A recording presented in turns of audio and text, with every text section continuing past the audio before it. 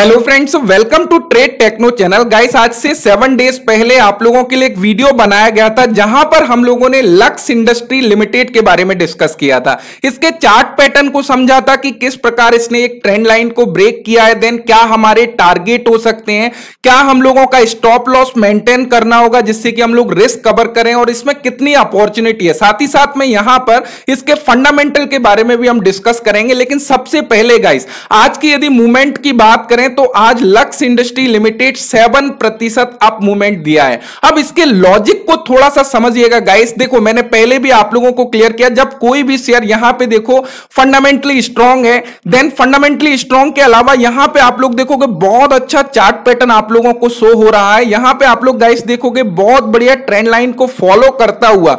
ये नीचे की तरफ़ आ रहा था देन मैंने आप लोगों को एंट्री पॉइंट क्या बताया था? यहाँ पर आप लोग देख सकते हो, ये ट्रेंड लाइन का बहुत ही प्यार प्यारा सा ब्रेकआउट हम लोगों को मिला। देन यहाँ पर ट्रेंड लाइन को उसने रिटेस्ट किया है। एंड अगेन यहाँ पर काफ़ी दिन कंसोलिडेट करने के बाद में अब ये मूवमेंट की ओर आ चुका है। अब देखो, यहाँ पे थोड़ा सा समझिएगा गाइस जब भी, अब इसको यदि हम लोग देखें, ऐसा नहीं है कि कोई भी ट्रेंड लाइन को ब्रेक कर रहा है तो हम लोग वहाँ पे बैठ जाएँगे और हम लोग एक्सपेक्ट करेंगे कि ट्वेंटी प्रतिशत थर्टी का मूवमेंट ले ले। नहीं, हम लोगों को शेयर का कंप्लीटली एनालाइज देखना पड़ेगा। पिछली वीडियो में एक कॉमेंट आया था, सर, यहाँ पर मैनेजमेंट इशू होने की वजह से यह शेयर का प्राइस गिर रहा है, जबकि इसके कॉम्पिटिटर की करें, हम लोग पेज इंडस्ट्री जो कि अपर क्लास का जो अंडर गारमेंट बनाता है जॉकी ब्रांड है, वो अच्छा परफॉर्म कर रहा है बट ये जो है डाउन परफॉर्म कर रहा है सर मैनेजमेंट इशू है। तो यहाँ पे गाइस आप लोगों को क्लियर होना चाहिए। देखो, यहाँ पे मैं टोटल टाइम फ्रेम में आपको ले चलता हूँ। थोड़ा सा मंथली टाइम फ्रेम थोड़ा सा बड़े बड़े पीरियड की हम बात करते हैं। यहाँ पे आप लोगों को सारा सिनेरियो समझ में आएगा। यदि गाइस यहाँ पे आप लोग देखोगे 2021 में यहाँ पे एक अच्छा मोमेंटम आप लोगों को दिखाई दिया था एंड यहाँ पे एक इशू के कारण ये शेयर गिरा हुआ है, वो इशू क्या है? आप लोगों के माइंड में जो मैनेजमेंट इशू चल रहा है, वो क्या रीजन है? यहाँ पे इनसाइडर ट्रेडिंग हुआ था।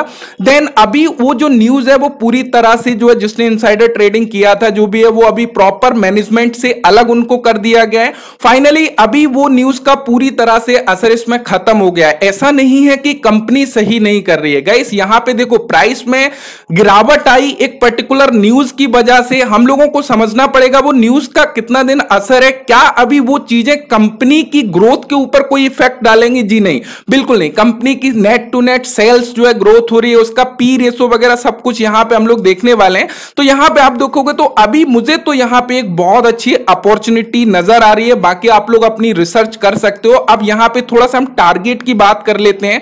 गाइस क्या टारगेट हम लोग एक्सपेक्ट कर सकते हैं? देखो, यहाँ पे बहुत अच्छा ट्रेंड लाइन का ब्रेकआउट हम लोगों को मिला है।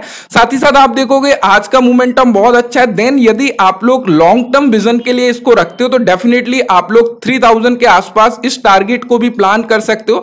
यदि आप शॉर्ट टाइम स्विंग ट्रेडिंग का प्लान कर रहे हो तो डेफिनेटली ये छोटे छोटे टारगेट आप देख सकते हो कि भाई ट्वेंटी परसेंट टेन परसेंट यहाँ पर आप लोगों को इजीली मिल जाएँगे। बट मैं आप लोगों को रिकमेंड करूँगा कि इस शेयर में आप लॉन्ग पीरियड ऑफ़ टाइम के लिए रुक सकते हो। अब यहाँ पे थोड़ा सा हम लोग फंडामेंटली इसको देख लेते हैं कि क्या कुछ ये कर रही है कंपनी गाइस यदि हम लोग ब्रांड्स की बात करें तो ये मैन वुमेन एवं किड्स तीनों के लिए अंडर गारमेंट का मेन इनका जो है बिज़नेस है, जिसमें इनके काफ़ी सारे ब्रांड हैं। लक्स क्लासिक है लक्स कोजी जो भी अभी रिसेंटली आप देख सकते हो। लक्स करिश्मा है लक्स वेन्यू है तो लक्स टच है तो काफ़ी सारे ब्रांड इनके हैं, जो कि एक अच्छे लेवल पर काम कर रहे हैं। तो ये बोल सकते हैं कि यहाँ पर हम लोगों को ब्रांड वैल्यू भी बहुत अच्छी मिलेगी। साथ ही साथ गाइस यहाँ पर थोड़ा सा फोकस करिएगा। यदि आप लोग हिस्टोरिकली पी रेसो देखते हो तो यहाँ पर पी रेसो का चार्ट आप देखो देखोगे इसका जो पी था, वह 2018 में लगभग 70 के आसपास था। देन अभी यदि हिस्टोरिकली आप देखोगे लोएस्ट पी रेसो पर ये लोग ट्रेड कर रहा है। जैसे कि आप देखोगे, लगभग 16 का पी रेसो चल रहा है, जो कि हम लोगों को बहुत अच्छा अट्रैक्ट कर रहा है। तो सबसे प्लस पॉइंट यहाँ पे आप लोग देख सकते हो। देन उसके अलावा,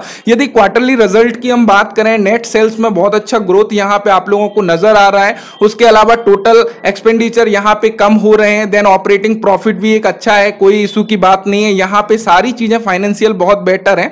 देन गाइस बहुत ही इंटरेस्टिंग चीज़, यदि आप लोग यहाँ पे देखते हो शेयर होल्डिंग पैटर्न को तो यहाँ पे आप लोगों को नज़र आ रहा है कि प्रोमोटर होल्डिंग्स लगभग 74.33 प्रतिशत है। और उसके अलावा यहाँ पे सबसे इंपॉर्टेंट क्या होता है, आप लोग शेयर होल्डिंग पैटर्न्स देखते हो कि भाई कितना प्रमोटर्स ने होल्ड किया बट यहाँ पे आप लोगों को ज़रूर नज़र देना है क्या होल्डर्स प्रमोटर्स जो है, उनने कोई शेयर प्लेस किए हुए हैं। तो बिल्कुल, यहाँ पे हम लोगों को क्लियर नज़र आ रहा है कि कोई भी शेयर यहाँ पे प्लेस नहीं है। देन यहाँ पे आप लोग देखोगे ईयर ऑन ईयर या क्वार्टरली यहाँ पे सितंबर 2022 की 21 की बात करें तो 74.39 था। देन उसके अलावा यहाँ पे दिसंबर 2021 में प्रोमोटर्स ने अपनी होल्डिंग को कम किया 73.95 देन अगेन ये होल्डिंग को बढ़ा रहे हैं।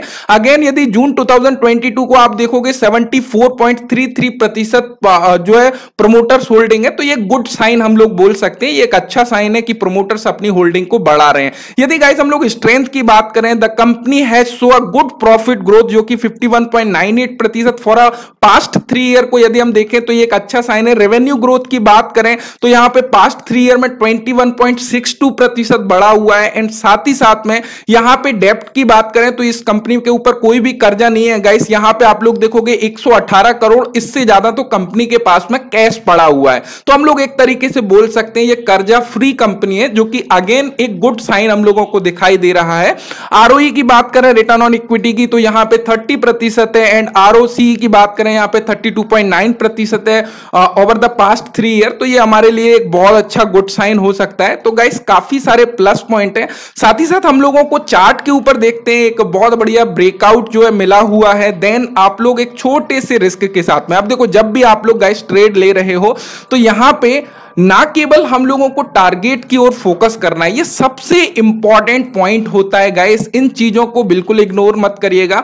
आप चाहे लॉन्ग टाइम के लिए कोई भी ट्रेड ले रहे हो या शॉर्ट टाइम के लिए इंपॉर्टेंट होता है कि वहाँ पे आप लोगों का proper stop loss and target होना चाहिए। अब देखो गाइस थोड़ा सा यहाँ पे चार्ट की ओर नज़र डालोगे तो आप लोगों के लिए सबसे इंपॉर्टेंट चीज़ क्या है? सबसे इंपॉर्टेंट है कि आपका रिस्क कितना है यदि आप लोग कोई ट्रेड ले रहे हो।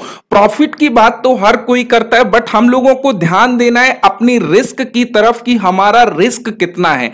गाइस यदि आप लोग इस पॉइंट पर जो है ट्रेड लेते हो तो यहाँ पे आप लोग थोड़ा सा फोकस करिएगा। आपका जो रिस्क रहेगा, वो आप लोग इजीली यहाँ पे देख सकते हो। आप इसके नीचे अपना जो है लगभग ट्वेंटी प्रतिशत का या फिफ्टीन प्रतिशत का आप रिस्क ले सकते हो लॉन्ग टर्म के लिए। देन उसके अगेंस्ट में क्या हम लोगों को रिवॉर्ड मिल सकता है? यदि आप वो देखोगे तो अगेन आप यहाँ तक के टारगेट इसमें अचीव कर सकते हो, जो कि एव फिफ्टी प्रतिशत यानी कि सिक्सटी प्रतिशत तक प्रॉफिट आप लोग टारगेट कर सकते हो। बट यहाँ पे फोकस रखिएगा कि मैं यहाँ पे शॉर्ट टर्म विजन की बात नहीं कर रहा हूँ, ये मैं लॉन्ग टर्म की बात कर रहा हूँ। थोड़ा आपको शेयर को होल्ड करना पड़ेगा पैसेंस रखना पड़ेगा, अपने इमोशन को कंट्रोल करना पड़ेगा, वहाँ पर आप लोग इस टारगेट को अचीव कर सकते हो। बाकी यहाँ पे आप लोग देखोगे, ये टारगेट है आपके पास में देन उसके अलावा यहाँ पे ये टारगेट आप लोग ले सकते हो थर्टी का देन उसके बाद में सीधा हमारे पास में ये टारगेट जो है मिल जाता है। यदि मैं अपना पर्सनल व्यू रखूँ तो मुझे ये शेयर बहुत अट्रैक्टिव लग रहा है। मैं इस पॉइंट पर जो है इस शेयर में पैसा डालना चाहूँगा।